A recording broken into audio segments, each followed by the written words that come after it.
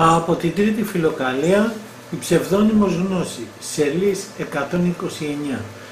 Η ψεύτικη γνώση είναι εκείνη που νομίζει ότι γνωρίζει εκείνα που ποτέ δεν έμαθε.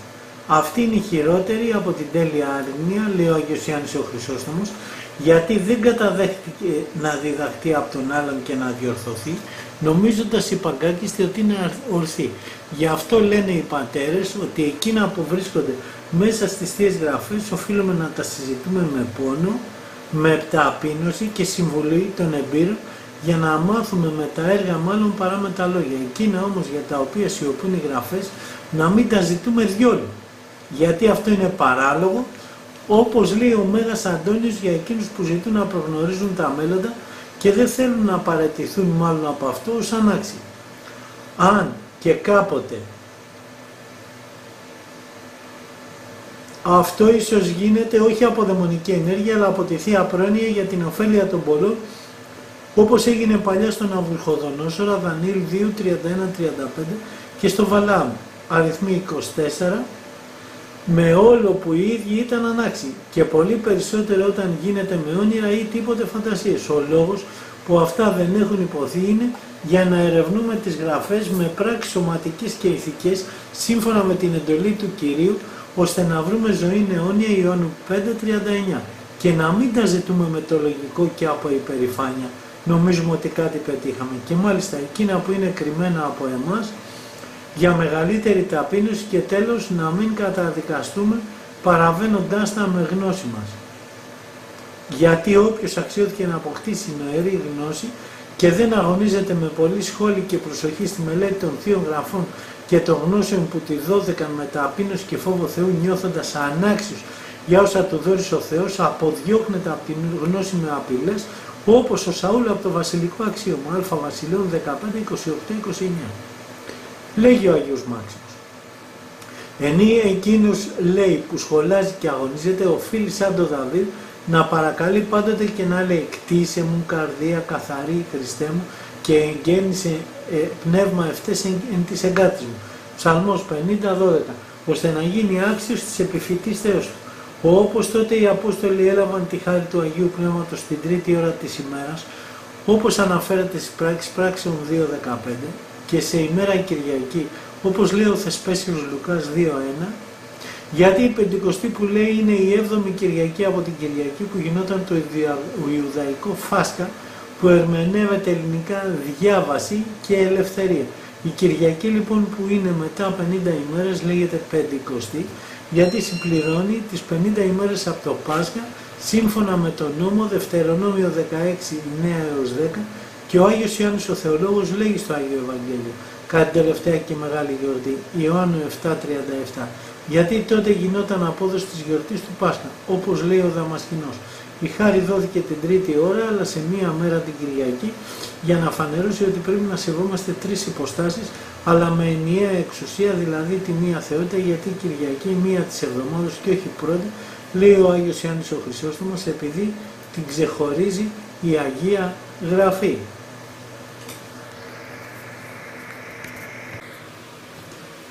Η Παλαιά Διαθήκη προβητεύει για αυτήν, για αυτό και δεν την ονομάζει με σειρά όπως τη Δευτέρα και τις υπόλοιπες επειδή είναι ξεχωριστή ημέρα την ονομάζει μία το Σαββάτο, Ψαλμός 23 δηλαδή της εβδομάδος ενώ αλλιώς θα την ονόμαζε πρώτη. Στη νέα περίοδο της Χάρης τώρα αυτή η Αγία και επίσημη ημέρα Λεβιτικών 23, 35, 36 ονομάζεται Κυριακή Αποκάλυψη 1, 10 επειδή σε αυτήν έγιναν τα κυριότερα περιστατικά της ζωής του Κυρίου. Ο Ευαγγελισμός, η γέννηση, η Ανάσταση, Λουκά 24, 1 έως 2 και σε αυτή μέλη να γίνει η κοινή Ανάσταση των νεκρών. Αυτή την ημέρα λέγει ο Δαμασκηνός δημιουργήθηκε το αισθητό φως από το Θεό, γέννηση 1 έως 2. Και πάλι αυτή την ημέρα θα γίνει η παρουσία του Κυρίου για να μείνει στους απεράτους αιώνας η ημέρα αυτή, μία και ογδόη, όπως βρίσκεται έξω από τους επτά αυτούς αιώνας που έχουν ημέρες και νύχτες. Επειδή λοιπόν μάθαμε το σκοπό αυτών των πραγμάτων από τους Αγίους σας μάθουμε και το σκοπό κάθε εργασίας του παρόντος λόγου από την αρχή. Ο σκοπός λοιπόν που λέμε μία φορά τα ονόματα των βιβλίων και των Αγίων είναι για να θυμόμαστε πάντα τα λόγια τους και να αποκτήσουμε ζήλο να μιμηθούμε τους βίους των όπως λέει ο Μέγας Βασίλειος για να μάθουν όσοι το αγνοούν. Εκείνος που γνωρίζει τα βιβλία θα τα θυμηθεί, ενώ εκείνος που δεν τα γνωρίζει θα αναζητήσει το αντίστοιχο βιβλίο. Το να αναφέρουμε και μετά σε κάθε μέρος τον Άγιο ή την δικούσα γραφή το κάνουμε για συχνότερη υπόμνηση για να θυμηθούμε με λίγα λόγια τα έργα και τα λόγια κάθε ενός από αυτούς αλλά για να κατανοούμε όσα λέει στη συνέχεια κάθε ρητό της Θείας Γραφής ή του διδασκάλου τη διάκριση και την πολύ συμβουλή. Γιατί δεν είναι δικά μου τα λεγόμενα αλλά των θείων γραφών. Επίσης για να θαυμάζουμε και να κατανοούμε την ανέκφραστη φιλανθρωπία του Θεού που με μελάνι και χαρτί οικονόμησε της σωτηρίας των ψυχών μας και μας χάρισε τόσο πολλές γραφές και τόσους διδασκάλους της Ορθοδόξου πίστεως. Και όπως εγώ αμαθής και άθιμος αξιώθηκα τόσες γραφές να μελετήσω χωρίς να έχω κανένα δικό μου βιβλίο ή τίποτα άλλο καθόλου, αλλά είμαι πάντοτε ξένος και φτωχός και περνώ τον καιρό μου με κάθε αμνόβαση και αμεριμνία και με μεγάλη σωματική απόλαυση. Αν τώρα αφήνω μερικά χωρίς όνομα, αυτό είναι από την αμέλειά μου για να μην μακρύνει ο λόγος. Παραθέσαμε κοινές απορίες και τις λύσεις για να μαθαίνουν οι αναγνώσεις και να ευχαριστούν το Θεό που χάρισε στους Αγίους του, τους πατέρας μας τη γνώση, τη διάκριση και μέσω εκείνος σε εμάς τους αναξίους τα παραθέσαμε επίσης για καταδίκη όσων είμαστε αδύναμοι και χωρίς γνώση. Επίσης γίνεται λόγος για τους δικαίους παλαιές διαθήκες που σώθηκαν ενώ ήταν πολύ πλούσιοι και ζούσαν ανάμεσα σε αμαρτωλούς και απίστους ανθρώπους. Αν και ήταν και αυτοί οι άνθρωποι με την ίδια φύση όπως εμείς και δεν θέλουμε να φτάσουμε στο μέτρο της τελειότητος με όλο που έχουμε λάβει περισσότερη πείρα και γνώση του καλού και του κακού αφού μάθαμε τα δικά τους και αξιοθήκαμε περισσότερη χάρη και τόση γνώση των γραφών. Αναφερθήκαμε επίσης και στα δικά μας έργα των μονάχων για να μάθουμε ότι με πολλούς τρόπους μπορούμε να σωθούμε αν εγκαταλείψουμε τα δικά μας θελήματα και ότι αν δεν κάνουμε έτσι δεν μπορούμε να έχουμε ανάπαυση αλλά ούτε και τα θεία θελήματα μπορούμε να μάθουμε και να κάνουμε. 131. Γιατί το θέλημά μας είναι περισσότερο, είναι μεσότυχο που μας χωρίζει από το Θεό και αν δεν κρεμιστεί το μεσότυχο δεν μπορούμε να μάθουμε και να κάνουμε το θέλημα του Θεού αλλά βρισκόμαστε μακριά Του και μας τυραννούν οι εχθροί παρά τη θέλησή μας. Είπαμε ακόμη ότι η ησυχία είναι μεγαλύτερη από όλα και χωρίς αυτή δεν μπορούμε να καθαρθούμε από τα πάθη και να γνωρίσουμε την αδυναμία μας και τις πανουργίες των δαιμόνων. Αλλά ούτε και του Θεού τη δύναμη και την πρόνοια θα μπορέσουμε να εννοήσουμε από τα Θεία Λόγια που ψάλλονται και διαβάζονται. Γιατί όλοι οι άνθρωποι έχουμε ανάγκη από αυτή τη σχόλη, είτε μερικά είτε ολοκληρωτικά και χωρίς αυτή είναι αδύνατο να φτάσει κανείς σε γνώση πνευματική και ταπεινοφροσύνη μέσω της οποίας εννοεί εκείνους που έχει καλή προαίρεση τα μυστήρια που είναι κρυμμένα στις γραφές και σε όλα τα χτίσματα. Ακόμη ότι δεν πρέπει κανείς να μεταχειριστεί πράγμα, λόγο ή προσπάθεια ή νόημα έξω από την απαραίτητη ανάγκη της σωτηρίας της ψυχής και της συντηρήσεως του σώματος και ότι χωρίς διάκριση και εκείνα ακόμα που νομίζουμε ότι είναι καλά δεν είναι δεκτά από το Θεό. Αλλά έξω από το σωστό σκοπό η καλή εργασία δεν μπορεί να ωφελήσει κανένα. Τα τροπάρια γράφτηκαν εδώ για να τα εννοούμε και ο αυτά και τις άλλες γραφές και να έρχονται σε κατάνοιξη όσοι είναι ακόμα αδύνατοι πνευματικά, όπως λέει ο Άγιος Ιωάννης Κλίμακος. Γιατί η μελωδία, λέει ο Άγιος Βασίλειος, έλκει τη διάνοια του ανθρώπου σε εκείνο που θέλει, είτε στο πένθος, είτε στον πόθο, είτε στη λύπη, είτε στη χαρά. Είπαμε επίσης ότι έχουμε χρέος να ερευνούμε τις γραφές με την εντολή του Κυρίου και να βρούμε μέσα σε αυτές την αιώνια ζωή για να προσέχουμε το νόημα των ψαλμών και των τροπαρίων και να γνωρίσουμε με πολλή γνώση ότι έχουμε άγνοια. Γιατί λέει ο Μέγας Βασίλειος, αν δεν γευτεί κανείς τη γνώση δεν ξέρει πώς αστερείται. Γράφτηκαν και οι αιτίες γεννήσεως των αρετών και των παθών για να αποκτήσουμε πείρα και γνώση ώστε να τα γνωρίζει κανείς αυτά και να αγωνιστεί για τους γεννήτωρές τους άλλους να αποκτήσει, άλλους να αποβάλει και άλλους να νικά με την αντίθετη εργασία. Και ότι τις σωματικές πράξεις, σαν τα φυτά οφείλουμε να τις συντηρούμε πάντοτε με την καλή εργασία. Τις δε ψυχικές αρετές οφείλουμε να προσέχουμε πάντοτε και να μελετούμε πώς θα αποκτήσουμε την κάθε μία αρετή. Και αφού μάθουμε γι' αυτό από τις Θείες Γραφές και τους Αγίους, να το τηρούμε με πόνο ψυχής σαν θησαυρό για την εργασία μας, μέχρι ότου φτάσουμε στην έξι της κάθε αρετής. Και τότε με επιμέλεια να αρχίσουμε την άλλη αρετή για να μην καταπιαστούμε αμέσως με όλες και ίσως ατονίσουμε όπως λέει ο Μέγας Βασίλειος. αλλά να αρχίζουμε με την υπομονή όσων μας συμβαίνουν και τότε να προχωρούμε με δύναμη στις υπόλοιπες αρετές με κάθε προσπάθεια έχοντας σκοπό να ευαρεστήσουμε το Θεό. Όσοι χρεωστού, όλοι χρεωστούμε να φυλάγουμε τις εντολές του Θεού ως χριστιανοί επειδή δεν χρειαζόμαστε σωματικό κόπο για να αποκτήσουμε τις ψυχικές αρετές αλλά μονάχα προαίρεση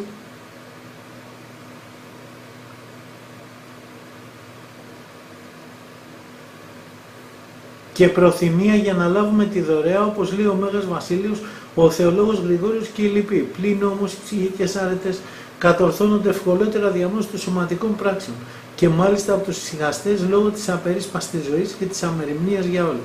Γιατί δεν μπορεί κανείς να βλέπει τα ήθη του και να τα διορθώνει εκτός αν σχολάζει και μεριμνά για αυτά. Γι' αυτό οφείλει κανείς πρώτα να αποκτήσει απάθεια για την αποφυγή των πραγμάτων και των άνθρωπων και αν το καλέσει ο καιρός να γίνει προϊστάμενος άλλων και να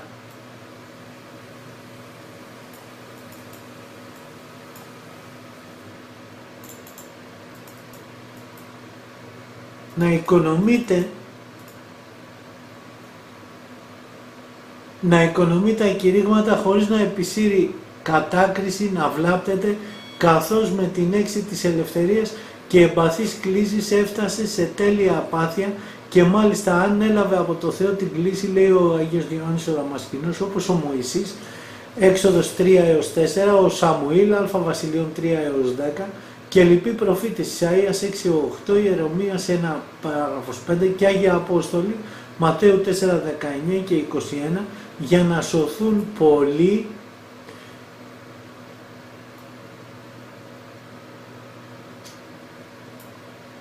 και γι' αυτό λέει ο, αλλά πρέπει κανείς να διστάζει να δεχτεί όπως ο Μωυσής έξοδος 3, 11, 11 παράγραφος 4, 10 παράγραφος 10, ο Αβακούμ Δανιήλ Βίλ Κεδρή, παράγραφος 35, ο Γρηγόρης ο Θεολόγος και άλλοι, όπως είπε ο Άγιος Πρόχωρος για τον Ευαγγελιστή Ιωάννη, ότι δεν θέλησε να αφήσει την προφεσφυλή του ησυχία, αν και είχε χρέος ως Απόστολος να μην ησυχάζει, αλλά να κηρύττει. Και βέβαια δεν έφυγε στην ησυχία σαν κάποιος εμπαθής ο απαθέστατος, μη γέννητο.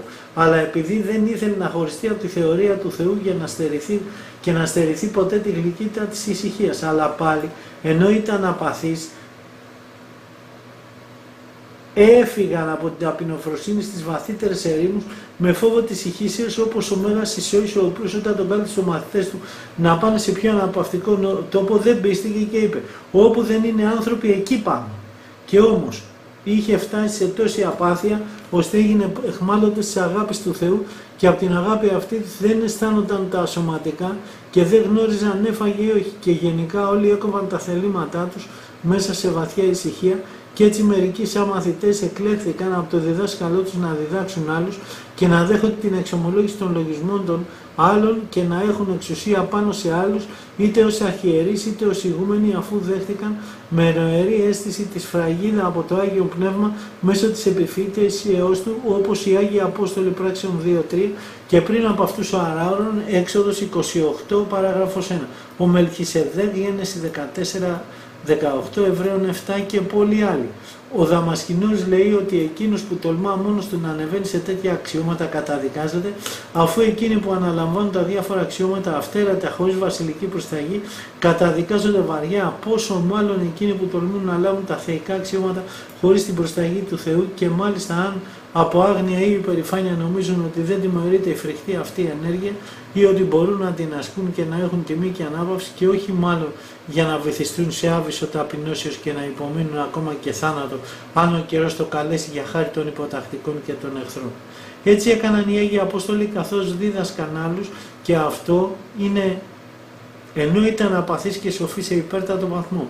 Αν όμως ούτε αυτό το γνωρίζουμε, ότι δηλαδή είμαστε αδύνατοι και ανίκανοι, τι πρέπει να πούμε, η περηφάνεια και η άγνοια τυφλώνουν εκείνους που δεν θέλουν να βλέπουν με αυτοσυγκέντρωση την αδυναμία και την άγνοιά τους. Όπως λέει το γεροντικό, το κελί του μοναχού είναι το καμίνι της Βαβυλώνας, μέσα στο οποίο οι τρεις παιδε βρήκαν τον ιόν του Θεού, Δανίλ 3.25. Και αλλού λέει, κάθισε στο κελί σου και αυτό όλα θα σου τα διδάξεις. Και ο Κύριος είπε, όπου είναι δύο ή τρεις συνηγμένοι στο όνομά μου, εκεί είμαι και εγώ ανάμεσά τους. Ματθαίον 18-20. Επίσης ο Άγιος Ιωάννης Κλίμακος λέει μην παρεκκλίνεις λέει ο Σολομών δεξιά ή αριστερά, αλλά βάλιζε το βασιλικό δρόμο. Δηλαδή να ησυχάζεις με έναν δύο, είτε μόνος στην έρημο, είτε με μεγάλη συνοδεία αδελφών. Οικονομή Ο μέσος όρος είναι κατάλληλος για τους περισσότερους. Και αλλού λέει η νηστεία ταπεινώνει το σώμα, η αγρυπνία φωτίζει το νου, η ησυχία φέρνει το πένθος και το πένθος βαφτίζει τον άνθρωπο και πλένει την ψυχή του και την κάνει αναμάρτητη.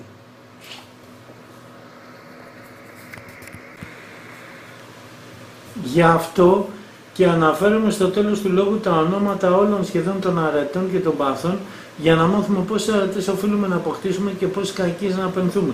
Γιατί χωρίς πένθος δεν γίνεται κάθαρση. Πένθος όμως δεν υπάρχει σε, σε συνεχή περισπασμό και χωρίς κάθαρση της ψυχής δεν δέχεται κανείς πληροφορία για τη σωτηρία του.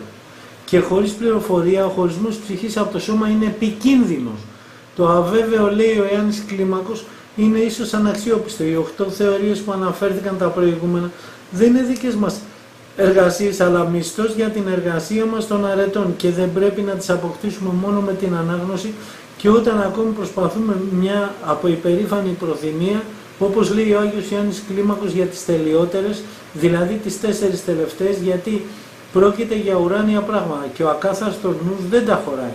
Όλοι μας την προθυμία την και επιμέλεια οφείλουμε να την έχουμε στις σωματικές και ψυχικές αρετές. Και έτσι γεννιέται μέσα μας η πρώτη εντολή, δηλαδή ο φόβος του Θεού. Και όταν πολυκαιρίσουμε σε Αυτόν γεννιέται το πένθος. Και όταν αποκτήσουμε την έξι της μίας θεωρίας, τότε η χάρη του Θεού, η κοινή μητέρα όλων, όπως λέει ο Άγιος Ισαάκ, θα μας χαρίσει και τα παραπέρα, μέχρι ότου αποκτήσουμε μέσα μας τις επτά γνώσεις. Έπειτα θα αξιώσει να λάβουν και την 8η που είναι εργασία του μέλλοντος κόσμου, όσους εργάζονται με επιμέλεια τις αρετές με τον ορθό σκοπό να ευαρεστήσουν το Θεό. Εμείς όμως εφήλουμε όσες φορές μας έρθει από μόνη της μία από αυτές τις κατά Θεόν έννοιες, είτε πρώτη είτε οποιαδήποτε άλλη, ξαφνικά, χωρίς να το περιμένουμε, αμέσως να αφήνουμε κάθε βιωτική μέρημνα, ακόμη και τον ίδιο μας τον κανόνα πολλές φορές, και να φυλάγουμε ως κόριο φθαλμού. Δευτερεύουμε 32-10 την πνευματική δόση και γνώση και κατάνοιξη που μας ήρθε μέχρι ότου κατ' οικονομία Θεού μας αφήσει. Τότε να μελετούμε διαρκώς τα διάφορα ρητά περί φόβου και πένθους που είναι γραμμένα και πριν από τον κανόνα και μετά. Αλλά όσες φορές έχουμε καιρό είτε ημέρα είτε νύχτα είτε απασχολημένοι σε εργόχειρο. Όσοι είμαστε ακόμη αδύνατοι και κυριευόμαστε εύκολα από τον ύπνο και τη ραθυμία, είτε αργοί όσοι μπορούν να επιδοθούν όλους δυο στο πένθος και να εκμαλωτίζονται στα λόγια της προσευχής και στα ακόλουθα δάκρυα. Γι' αυτό το λόγο και γράφτηκαν για να παροτρύνουμε και εγώ και οι άπειροι σε αυτά τη ραθυμία του νου μας και τη μελέτη των λόγων αυτών και την προσοχή. Γιατί εκείνοι που έχουν προθυμία και πείρα λόγω της έξεώς τους στην εργασία των αρετών γνωρίζουν και λένε πολύ περισσότερα από τα λεχθέντα, μάλιστα τον καιρό της, κα, της κατανήξεως που έρχεται μόνη της. Η ώρα αυτή της κατανήξεως έχει μεγάλη δύναμη παραπάνω από την κατάνοιξη που κατορθώνουμε εμείς. Πλην όμως ας μην νομίζει κανείς ότι είναι εργάτης των χαρισμάτων αυτών. Μάλλον πρέπει νιώθοντας ότι όσα έλαβε υπερβαίνουν την αξία του και ευχαριστεί πολύ και να φοβείται μήπως έχει μεγαλύτερη καταδίκη γι' αυτό επειδή χωρίς διόλου να κοπιάσει μέλη να αξιωθεί να δεχτεί η εργασία, την εργασία των αγγέλων. Γιατί η γνώση έχει δοθεί για εξάσκηση του νου και για να ενισχύσει στο να φυλάξουμε τις εντολές και να εργαζόμαστε στις αρετές. Επίσης να γνωρίσουμε πώς και γιατί εργαζόμαστε και αφού γίνει αυτό να αξιοθούμε να ευχαριστούμε εκείνον που μας τα χάρισε αυτά να γνωρίζοντας από ποιον λάβαμε τα τόσο μεγάλα αγαθά και όταν τον ευχαριστούμε μας χαρίζει μεγαλύτερα αγαθά. Αφού λάβουμε τα δώρα του θα τον αγαπήσουμε περισσότερο και με την αγάπη θα φτάσουμε στη σοφία του Θεού που αρχή της είναι ο φόβος του Θεού.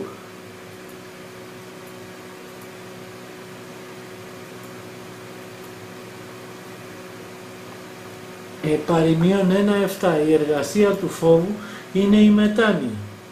λέγει ο Άγιος Σάκος Σύρος, με την οποία γίνεται φανέρωση των βρυτών. Τα νοήματα του φόβου πρέπει κανείς να τα μελετά ως εξής. Μετά την ακολουθία του αποδείπνου οφείλει να λέει το πιστεύω. Το πάτερ ημών, το κύριε λέησον πολλές φορές. Έπειτα κάθεται προς Ανατολάς και όπως εκείνοι που πενθούν για νεκρό κουνώντας το κεφάλι με πόνο και στεναγμό από καρδιάς λέει τα λόγια της γνώσεως που θα τύχει αρχίζοντας από την πρώτη μέχρι ότου φτάσει στην προσευχή. Και τότε πέφτει με το πρόσωπο μπρος στο Θεό με ανίποτη φρίκη και προσεύχει. Πρώτα λέει ευχαριστία, μετά εξομολόγηση και τα λοιπά λόγια της προσευχής όπως προϋπόθηκε. Όπως λέει ο Μέγας Αθανάσιος, οφείλουμε να εξομολογηθούμε τις αμαρτίες μας που αγνοούμε και όσες θα κάνουμε αν δεν φύλαγε η χάρη του Θεού να μην μας ζητηθεί για αυτές λόγος την ώρα του θανάτου και ακόμη να προσευχόμαστε ο ένας για τον άλλον κατ' εντολή του Κυρίου. Λουκά 22-32 και του Αποστόλου Ιακώβου 5 έως 16. Ο σκοπός εκείνων που λέμε την προσευχή είναι ο εξής. Η ευχαριστία μας γιατί ότι την ώρα εκείνη ευχαριστούμε το Θεό είναι ομολογία της ανικανότητας και ευχαριστία για την αμέλειά μας και να ευχαριστούμε το Θεό με, σε άλλους καιρούς και ότι η ώρα αυτή είναι η χάρη του Θεού, η εξομολόγηση κηρύττει ότι όσα μου δώσει ο Θεός είναι αμέτρητα και δεν μπόρεσα να τα καταλάβω όλα αλλά ούτε και να τα γνωρίζω. Παρά μονάχα ακούγοντάς τα και πάλι όχι όλα αλλά μερικά. Και ότι συνεχώς μας ευεργετεί ο Θεός φανερά και κρυφά και είναι ανίποτη η ανοχή του για τις πολλές αμαρτίες μου. Ακόμη είναι, είμαι ανάξιος για να τον ανωνυτενήσει όπως λέει ο τελώνης, Λουκά 18-13 και ότι έχοντας θάρρος όχι σε τίποτα άλλο παρά στην ανέκφραστη φιλανθρωπία του πέφτουν μπροστά του όπως ο Δανίλ μπροστά στον άγγελο Δανίλ 8-17 και όπως ο Απόστολος αποκάλυψε ένα 17 και λυπεί οι πατέρες με όλη την ψυχή του.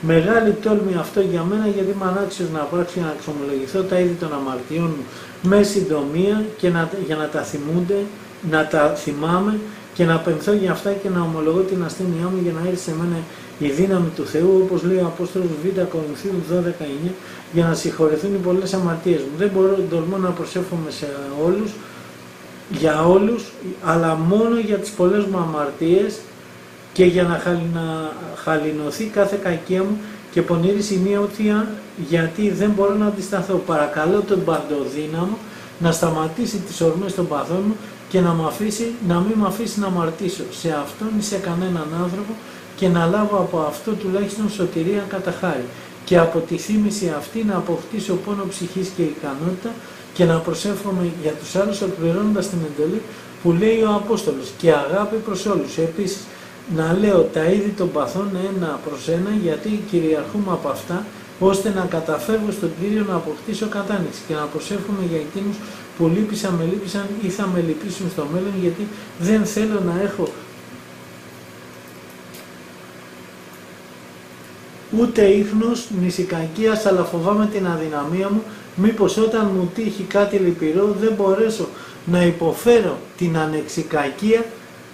Με ανεξικακία ή να προσεύχομαι για αυτούς σύμφωνα με την εντολή του Κυρίου.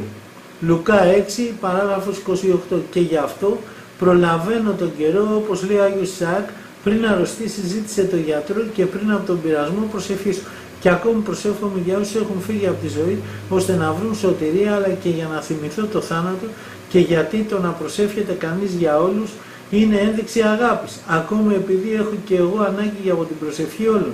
Επίσης και να καθοδηγηθώ, για να καθοδηγηθώ από το Θεό και να γίνω όπως θέλει. Και έτσι να αναμειχθώ με άλλους στην προσευχή και να ελεηθώ με τις προσευχές του. Γιατί τους θεωρώ ανωτέρους μου. Γιατί η προσευχή όμως για τους άλλους Κατά την προσευχή όμως για τους άλλους δεν τολμώ να ζητήσω συγχώρεση οποιουσδήποτε αμαρτήματος για να μην θεωρήσω τους άλλους αναξίους για συγχώρεση θέλοντας να ταπεινώνω τον εαυτό μου και ως άνθρωπος που αγνοώ και δεν μπορώ τίποτα να κάνω καταφεύγω στο Θεό και ζητώ να γίνει όπως ευδοκεί η φιλανθρωπία του επειδή είμαι αμαρτωλός και φοβούμαι τη δικαιοσύνη του λέω σε αυτό. Μόνο να μην χάσω τη θέση στα δεξιά σου και ας βρεθώ τελευταίος από όσους θα σωθούν γιατί δεν είμαι άξιος τους προσεύχομαι και για όλο τον κόσμο όπως έχουμε παράδοση από την Εκκλησία. Επίσης για να καταξιωθώ τη Θεία Μετάληψη όπως έχω χρέος ώστε με το να προσεύχομαι από πριν να βρω έτοιμο το βοηθό όταν θελήσω να μεταλάβω αλλά και να θυμηθώ τα άχραντα πάθη του σωτήρα μας για να αγαπήσω τη θύμησή του, ακόμη και να, για να γίνει η μετάληψη κοινωνία του Αγίου Πνεύματος.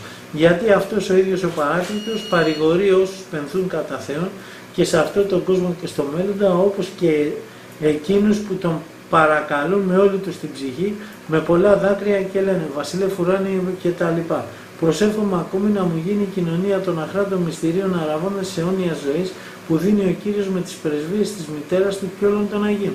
Κατόπιν πέφτω μπροστά σε όλους τους Αγίους παρακαλώντας τους να κάνουν οικεσία στον Κύριο για χάρη μου γιατί μπορούν να την κάνουν. Στη συνέχεια λέω τη συνηθισμένη προσευχή του Μεγάλου Βασιλείου επειδή περιέχει θαυμαστή θεολογία και ζητώ μόνο το Θείο Έλεος και δοξολογώ το Θεό. Κύπετα αμέσως λέω τους λογισμούς μου με μεγάλη συγκέντρωση και προσοχή. Δεύτερο προσκυνήσουμε και προσπέσουμε τρεις φορές και τα άλλα που γράφτηκαν πρωτήτερα. Για, και όλα αυτά για να καθαίρεται ο νους με την καρδιακή προσευχή και τη μελέτη των θείων γραφών και να αρχίσει να βλέπει τα μυστήρια που είναι κρυμμένα στις Θείες Γραφές. Πρέπει όμως η ψυχή να βρίσκεται μακριά από κάθε κακία και προπαντός στη μνησικακία τον καιρό της προσευχής όπως λέει ο Κύριος Μάρκο 11.25. Γι' αυτό και ο Μέγας Βασίλειος θέλοντας να τιμωρήσει την αντιλογία επειδή αυτή γεννά τη μνησικακία λέει προς τον ηγούμενο να επιβάλλει σε όποιον του αντιλέγει κάποιες μετάνοιες μέχρι χίλιες των αριθμών τον ανεβάζει σε χίλιες ή σε μία. Δηλαδή εκείνος που αντιλέγει να κάνει χίλιες μετάνοιες στο Θεό ή μία στον ηγούμενο λέγοντας Συγχώρεσαι με πάτερ. Και συγχωρείται με τη μία που είναι κυρίως μετάνοια και κόψιμο του πάθους της αντιλογίας. Ο Άγιος Ισαάκ λέει ότι η αντιλογία δεν ανήκει στη χριστιανική ζωή.